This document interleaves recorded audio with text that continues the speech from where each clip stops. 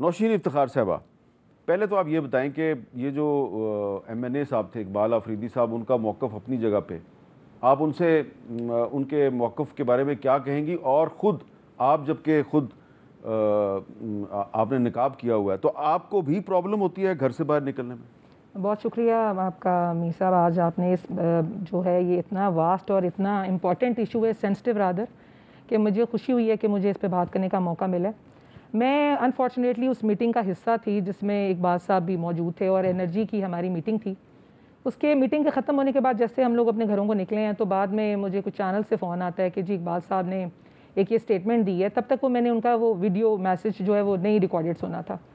उसके बाद जब मुझे सुनने का मौका मिला तो मुझे बहुत अफसोस हुआ, क्योंकि आपकी सोच अगर ख़वातीन को लेकर हमारे इस माशरे की यहाँ तक आ गई है और आप नेशनल टी वी पर आके इस तरह के इश्यूज़ को हाईलाइट कर रहे हैं तो ये तो फिर हमारे लिए मज़ीद मुश्किल जो है ना, ये हमारे लिए इसका सामना करना पड़ेगा। क्योंकि मैं एक ख़ुद मजहबी घराने से ताल्लुक़ रखती हूँ। और अगर मैं पर्दा करती हूँ तो सबसे पहले तो ये अगर मुझे मज़हब ने सिखाया है और ये मेरे और मेरे अल्लाह का मामला है। मेरा अटायर को लेके चलना, लिबास को लेके चलना एक अपना पर्सपेक्टिव है जिसको मैं अपनी फैमिली वैल्यूज़ के साथ नेम के साथ कैरी कर रही हूँ। इकबाल साहब ने अगर उनको, उनकी अपनी एक ओपिनियन थी, एक अपना ओपिनियन के तहत अगर उस बच्ची का या उस ऑफिसर का ड्रेस उनको इनप्रोप्रिएट लगा भी, चाहिए तो ये था कि वो मेरे पास आ जाते। आके कहते कि, एक खातून आपकी मेंबर कौमी असम्बली आपके साथ मौजूद है, उस मीटिंग का हिस्सा है। अब मुझे कहते कि, बहन, आप इनको जो है ये मैसेज कन्वे करें कि नेक्स्ट टाइम अगर ये मीटिंग में आती हैं या नेशनल असम्बली आती हैं तो वो इस तरह का लिबास अटायर से परहेज़ कर लें। लेकिन ये जो असलाह इन्होंने समझी करनी नेशनल टी वी पर आके और तमाम चैनल्स के सामने दुनिया के सामने वो बच्ची पाकिस्तान की बेटी भी है। हम्म। वो हमारी बहन भी है और एक ऑफिसर भी है। इनके इस अमल से उसके ख़ानदान पे उस बच्ची के जहन पे जो टॉर्चर हुआ होगा मैं यही उस दिन भी एक बात कर रही थी कि इस मुल्क में कत्ल की सज़ा तो आपने तयन किया हुआ है। लेकिन ये जो मेंटल टॉर्चर ख़वातीन इस तरह के कमेंट से गुजरते हैं उनका क्या कोई जस्टिस नहीं है? उनका कोई हम हिसाब नहीं लेते कि जिस शख्स के मुँह में जो भी बात आए वो एक ख़ातून के बारे में उसके ड्रेस के बारे में उसके लिबास के बारे में या उसके आप काम को क्यों नहीं देखते? कि she is sitting on a post वो एक ऑफिसर है वो एक कंपनी को रिप्रेजेंट कर रही है। क्या आपकी ये बातें उसको घर में से आइंदा निकलने के लिए उसको आसानी पैदा कर रही हैं या उसको एक उसके लिए बैरियर और एक हर्डल जो है वो क्रिएट कर रही हैं? तो मैं भी एक मैं मैं हामिद साहब इस पर मजम्मत का लफ्ज़ इस्तेमाल नहीं करना चाहूँगी। हम्म। हम इस तरह के कमेंट्स पे हम इस तरह के इनके जो होती हैं चीज़ें जो कि ख़वान के बारे में हम सुनते हैं यूजली हम उसको ये कह के स्नप कर देते हैं कि जी हमें हम मजम्मत करते हैं हम्म। हम इसको कंडेम करते हैं। कब तक हम इससे काम चलाएँगे?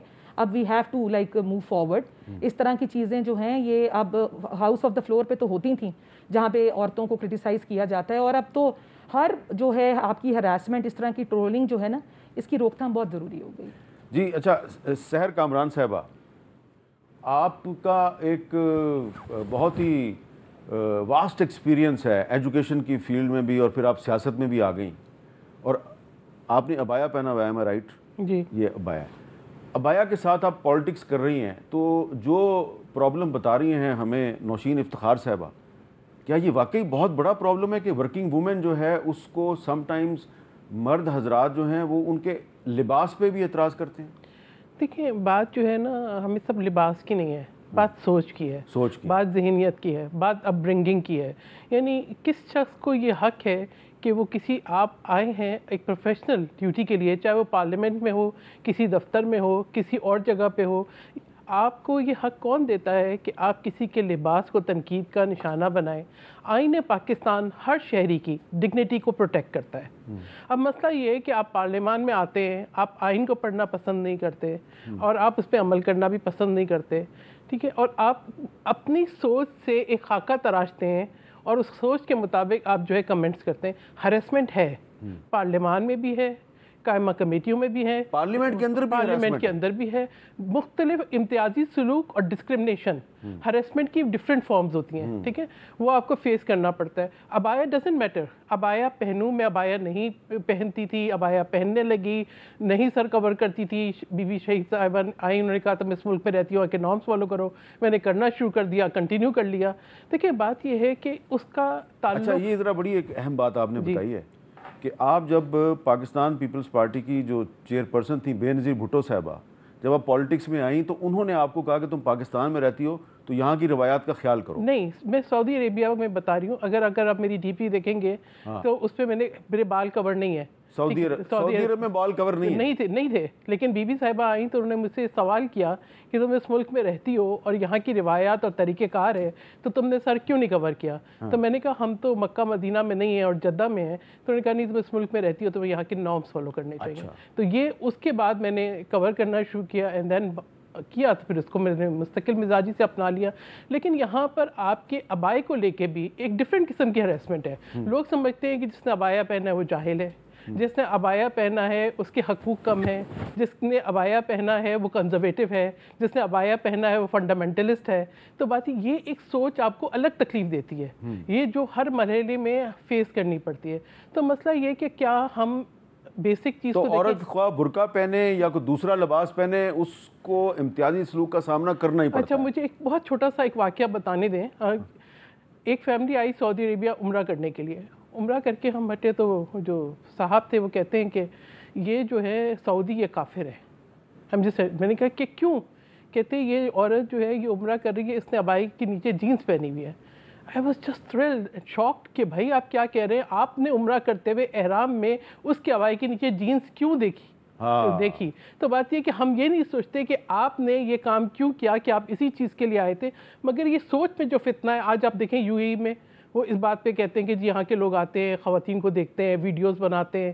देखें ये सब चीज़ हमारी तरबियत की ज़रूरत है और इस सिलसिले में कानून साजी भी मैंने की है कि सिविक एजुकेशन को और आईने पाकिस्तान को निसाब का लाजमी हिस्सा बनाया। जाए ये एक्ट ऑफ़ पार्लियामेंट है। कानून का ये कानून एक्ट ऑफ़ पार्लियामेंट है। ये 2018 में पास हुआ दोनों अच्छा आपने ये कानून पास कराया? ये पास कराया। लेकिन इस पे लेकिन इम्प्लीमेंट नहीं। करना।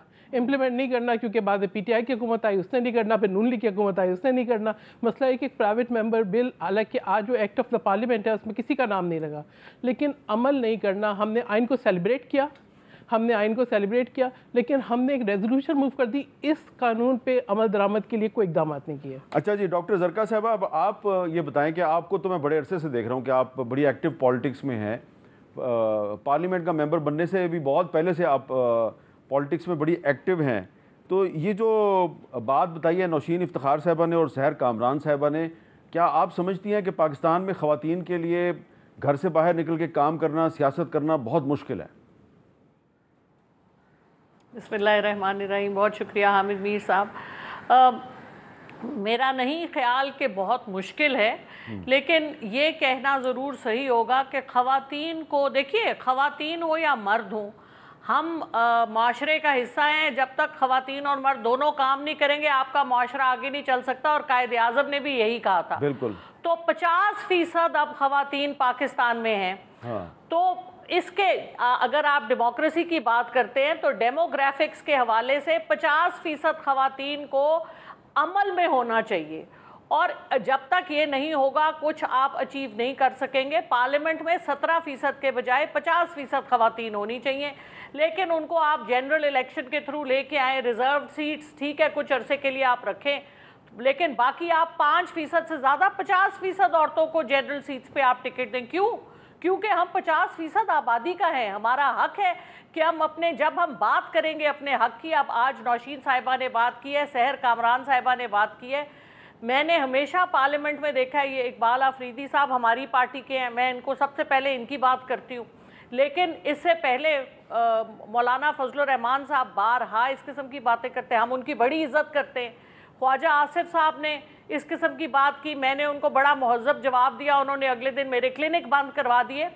सो ये इसमें कोई पार्टी का मसला नहीं है। इसमें मसला है एक जहनीत का हाँ। एक सोच का एक पिदरशाही सोच का कि ये औरत अगर आई है तो इसको निकालो बाहर क्योंकि अगर इसको डिस्करेज कर नहीं करेंगे तो ये एक से दो दो से चार हो जाएँगी। और ये सिर्फ़ पाकिस्तान में नहीं है। हम्म। यूरोप में I was at a conference women political leaders की एथेंस में। वहाँ पर यूरोपियन जो थी मेंबर्स ऑफ़ पार्लियामेंट उन्होंने कहा कि हमारे साथ इतना आ, ये इम्तियाजी सलूक होता है ख़वान के ऊपर इतनी हरासमेंट होती है कि हम औरतें जो एक दफ़ा पार्लियामेंट में आती हैं वो कहती हैं तोबा तोबा हमने नहीं आना हम अपने घर बैठे खुश हैं हमें क्या ज़रूरत है अपनी बेइज्जती करवाने की हम्म। तो ये बात तो पक्की है कि अगर किसी खातून ने सियासत में आना है हम्म। तो उसको बड़ी मोटी स्किन और बड़ा स्ट्रॉन्ग बैकग्राउंड बैकग्राउंड ज़रूरी नहीं है सियासी हो लेकिन आप ज़रा इन लोगों से नबरत आजमा होने के लिए आप तैयार हों क्योंकि जब मैं सेनेटर बनी हम्म। तो हमें वो रोज़ाना कहते थे अच्छा जी आप खातन इधर हो जाए। मैंने कहा भाई हम हम आपकी तरह की बराबर की सेनेटर्स हैं।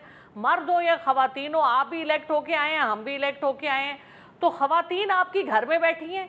हम इस वक्त सेनेटर हैं आप हमें एक हमारे पास पूरा एक वोट है उतना ही जितना आपके पास है। हम्म। तो आप हमें इस तरह अप्रोच करें। तो काफ़ी बार हाँ इसको रिपीट करने के बाद अब वो इस बात को समझना शुरू हो गए हैं।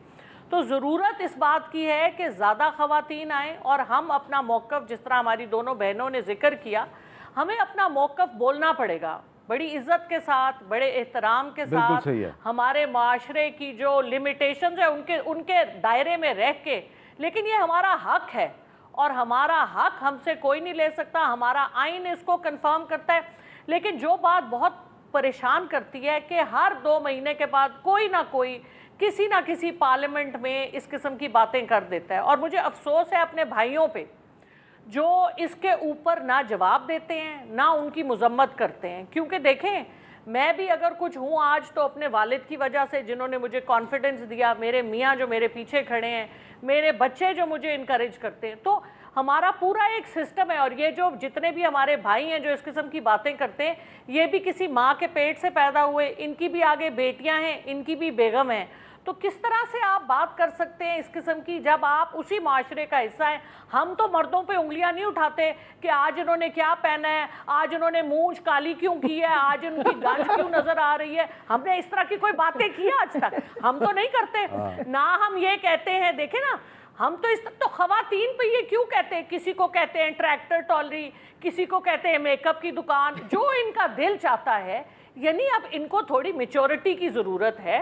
थोड़े अब इनकी ट्रेनिंग करें। एक तो ये मेरी बड़ी दरीना ख्वाहिश है कि जो पार्लियामेंटेरियंस आते हैं खा प्रोविंशियल हो खा नेशनल हो इनकी ट्रेनिंग होनी चाहिए। इतना बड़ा उनके सर पे आपने बोझ डाला हुआ है गवर्नमेंट ओवरसाइट का। अच्छा। तो कुछ आता ही नहीं है। अगेन माजरत के साथ सबसे पहले अपनी बात करती हूँ। हाँ। कोई ट्रेनिंग करें कोई इनको सिखाएँ कि किस तरह से अपने आप को लेके चलना है। आपने मुल्क की इज़्ज़त अपनी बहनों की इज़्ज़त लेके चलनी है? कैसे इस तरह आ जाते हैं? अच्छा डॉक्टर साहब आपने बड़ी अच्छी बातें की हैं लेकिन ट्रेनिंग मेरा ख्याल है सब जमातों के कायदीन की ज़रूर ज़रूरी है। मीडिया के लोगों की भी ज़रूरी है और सब एक नहीं दो नहीं तीन नहीं सब जमातों के कायदीन की, की ज़रूरी है।